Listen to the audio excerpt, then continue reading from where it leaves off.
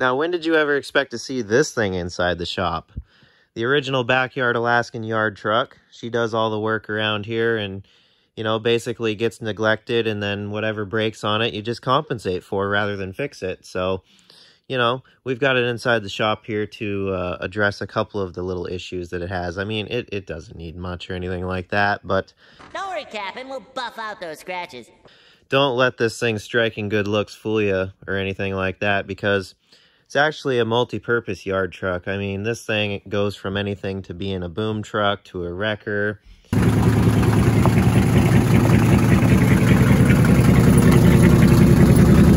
And, you know, sometimes uh, stuff like uh, winter rallies.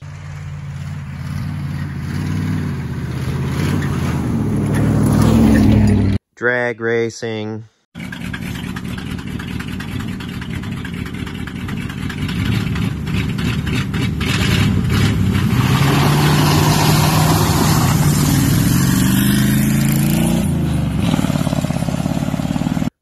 Cold starts.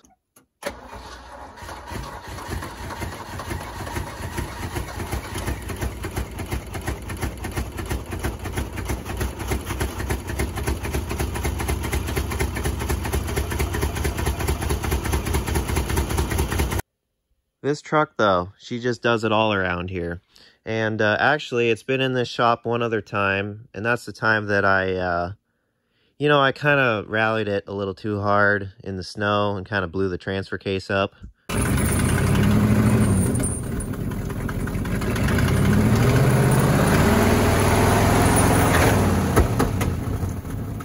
So yeah, the last time I was in here, I swapped another transfer case into it, and it's been good ever since. So we just got it back in here to address a few more little things. And also, fun fact, I've always wanted to investigate what happened um, it's probably been like four or five years now, but it was in the middle of a snowstorm. A big tree fell across the driveway, and I thought, what better tool to go deal with that than, you know, this. So I rallied it through the snow. There was quite a bit of snow during that snowstorm. And, you know, I kind of just blew the front diff right out of it, and I lost four-wheel drive ever since then. It probably didn't have anything to do with the front end being absolutely worn out or the fact that I was running a super extremely bent front drive shaft in it.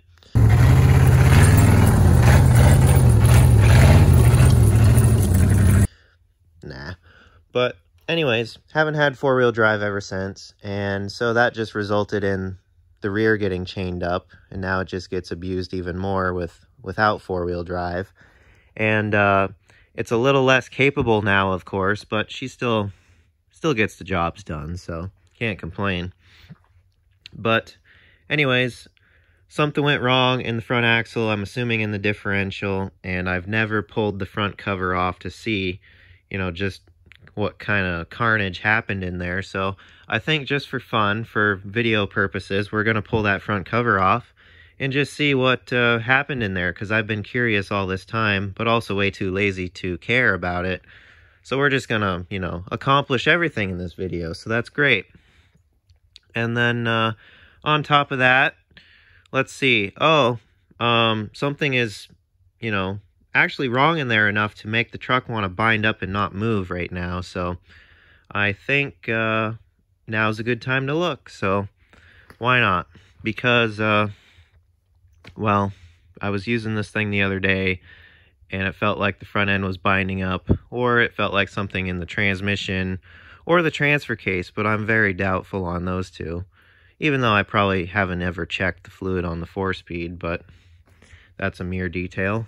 So anyways, we're going to check the, uh, the front differential situation, and maybe that's what's causing it to bind up and not want to move because, uh, well, you see this side has a locking hub, and that side has a full-time hub. So I can unlock this side, but that side is still engaged. So if something's all screwed up in the differential and it's wanting to bind and that axle shaft is wanting to spin, well, that could be part of our problem. But uh, besides that, I think I'm gonna, you know, actually treat this thing somewhat good for once for how much it does for me. So I've got uh, brand new spark plugs to throw in it and we're going to do an oil change on it at the same time because last time I did an oil change was probably like four years ago, something like that.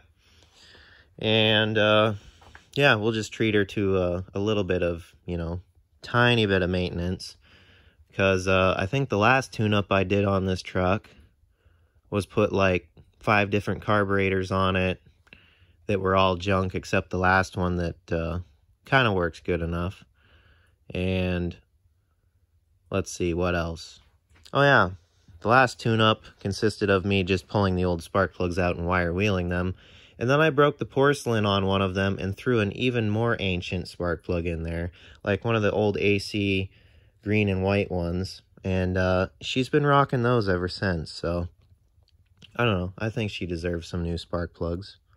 Good old 360 FE. You just can't beat them. And yeah, there's that AC spark plug right there. So yeah, we'll just uh, get all those switched out to the new ones, Autolite 45s, and those should be good. And you're going to want to just squint, not only for safety, in case you get something in your eye, but also to avoid noticing all the leaks all over the motor, including the coolant leak out the radiator. I mean, it's cold weather now. You don't even need coolant. So, you know, just mere little details such as that. And if you follow the course of action of squinting, you don't notice them. So it's fine. Oh, and I'm sure that exhaust leak is good. It's an FE. It's supposed to have that. Had that from the factory. So, anyways, enough rambling. We'll get some work done. Get spark plugs changed out and change the oil. And then we'll dive into the front end and see what kind of carnage happened in that. Well, got all eight spark plugs changed out, so we're all brand new, matched, and ready to rumble there. Of course, I checked the gap on each spark plug before installing it. I just quickly glanced at it and put it in because I want this thing to be on top of its game for the next drag race I have with Just a Car Addict because, well, you see, he kind of smoked me the first go around, so can't be having none of that again. We've got to uh, compete with a Dodge Charger here and all, so as soon as I get done with all this work, she's going to go on the dyno and we're just going to fine tune it out. She'll be ready to go. I mean, there's a lot of science going on. The tire chains, the uh, the boom sticking up in the air, the the mirrors hanging out. There's a lot of aerodynamics to this race machine. So, I mean, it's got to go on the dyno and just get figured out to give myself the upper hand. So, you know, next time you want to race, I'll be ready. All right, now for the oil change operation, we've got the drain plug rounder offer flashlight, all the necessities, officially drip season. Now, the same rule pertains to underneath the truck. You're just going to want to squint a lot, not look at anything. Oh, wow, that, that yoke's been repaired. That's pretty cool. Anyways, under here, and we'll just go ahead and round this right off. Just get started with that right away. And then we'll be good.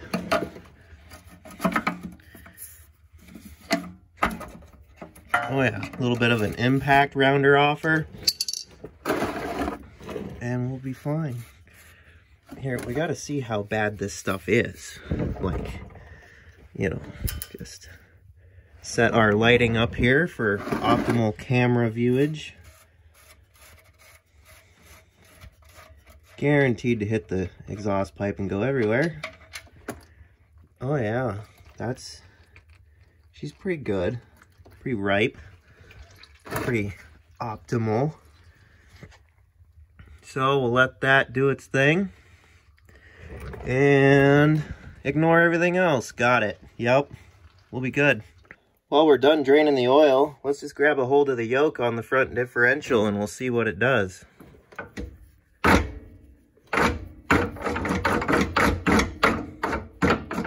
Oh, I think that's fine. Oh yeah, she's good. Definitely. Sounds nice and healthy. What else is worth looking at under here? As far as that goes, I just call that dust control. And uh, Here's an old blast from the past right here. When I got this truck going, I uh, I didn't have brakes and none of the rear brakes were intact. So I just blocked them off with a, uh, a Yamaha Bravo fuel line and stuck a screw in there with uh, RTV on it and called it good. And it's held up fine ever since. She's just uh, running front brakes only right now. And it works great. I mean, there's no problem. So, everything looks good under here. Looks uh, good for another 50 years. So, we'll go up top and fill her up with fresh oil, and then we'll dive into that front end. Well, topped up with oil, do a little test run here. See how she likes those spark plugs, and uh, also, I cleaned up the points. They were a little corroded. I haven't messed with those since, like, 2017 when I put them in, so not too bad. Oh, yeah.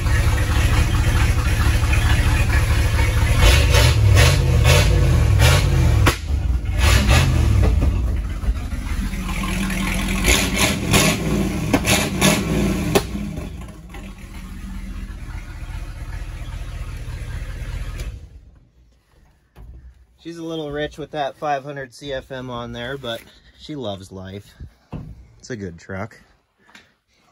A little smoky in here. No big deal. We like the aroma of this stuff.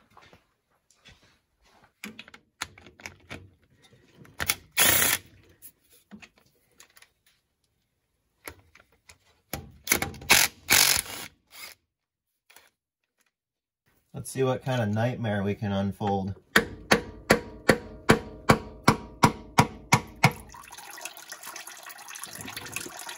That's a lot of water, that's neat.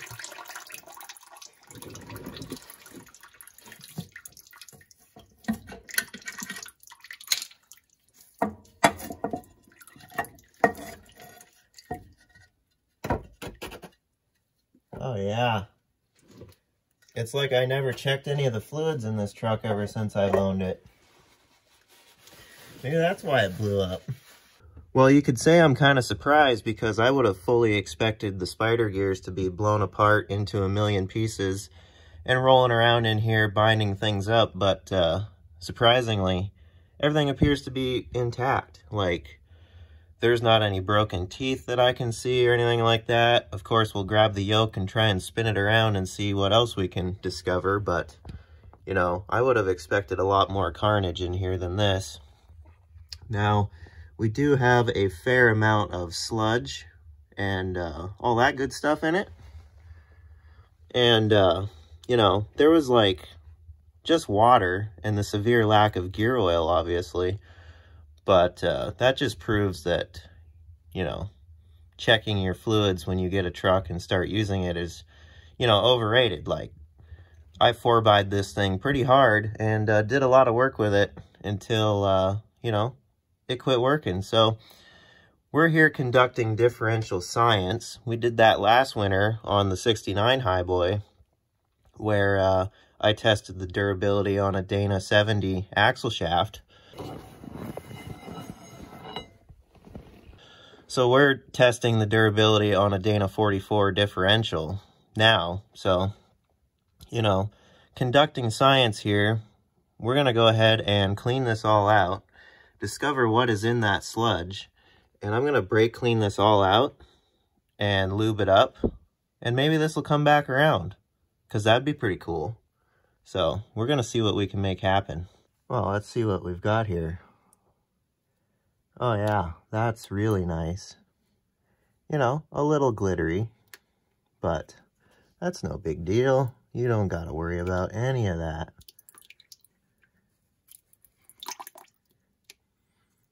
There's still a little bit of gear oil in there. Oh, that's that's a lot of water too.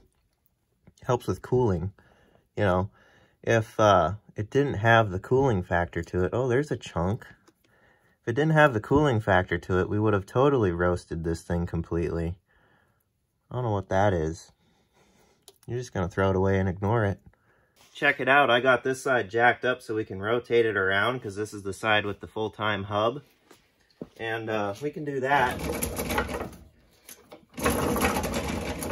Oh yeah, she sounds great, huh? Check this out. That's all wheel bearing. Maybe I should do something about that, but, you know, probably won't.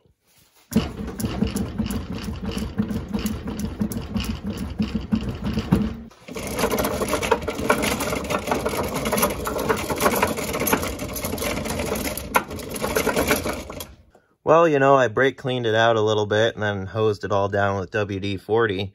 And I've just been rotating it around. Sounds pretty crunchy, but I mean, crunchy's good when you want full engagement on your, you know, ring gear teeth and everything and pinion teeth. So, you know, I think we've got that to our advantage. Now, uh, let's check some bearing tolerances.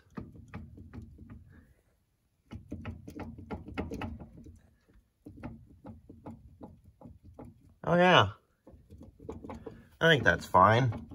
Perfectly good. Well, got the boom truck out of the shop. We kind of jumped ahead and skipped over some stuff, but I kind of scratched my whole idea on making the front differential work marginally.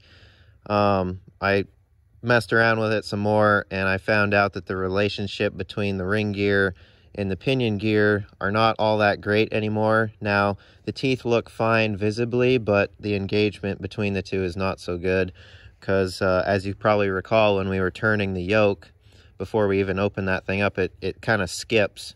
So uh, without correcting that with, you know, all new stuff and bearings and everything, uh, once, you know, a, a, front drive shaft was put back in it and power is applied to that, it's just going to skip and not, you know, engage right and work properly. So, I don't know why waste the time to uh, weld it up and do all that stuff that I was going to do. So, anyways, uh, basically what I did was I took that uh, full-time hub off. I took the cap off and I looked in there and I shook the wheel to uh, because I thought that all that play was, you know, like the spindle nut had just backed off. They like to do that.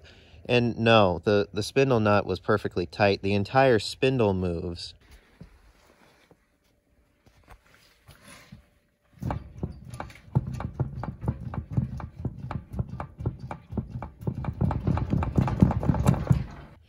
So what I did was uh, I didn't go any further or correct that at all.